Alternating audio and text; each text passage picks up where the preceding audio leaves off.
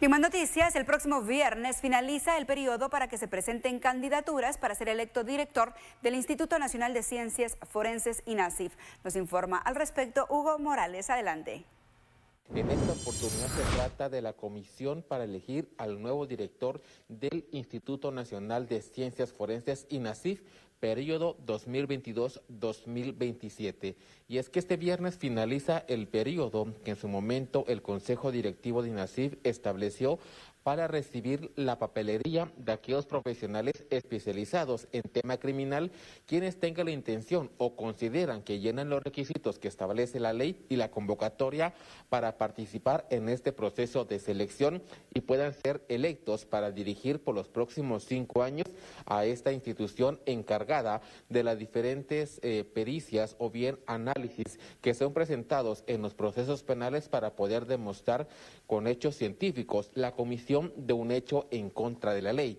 De esa cuenta, este viernes a las 3.30 de la tarde finaliza la recepción de expedientes. Al momento, ningún profesional ha presentado su papelería respectiva, como ocurrió en el caso de la Comisión para Fiscal General y Jefe del Ministerio Público.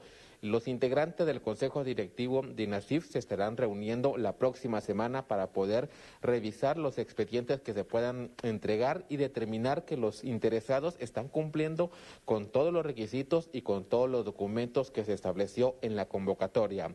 La reunión será el martes 3 de mayo. Se corrió un día tomando en consideración que por el descanso del 1 de mayo, día del del trabajo no se estará trabajando, entonces se corrió para el martes 3 de mayo, estará haciendo la próxima reunión del Consejo del INASIF en la sala de vista de la Corte Suprema de Justicia para determinar cuántos expedientes se entregaron y determinar si cumplen con todos los requisitos para continuar en este proceso.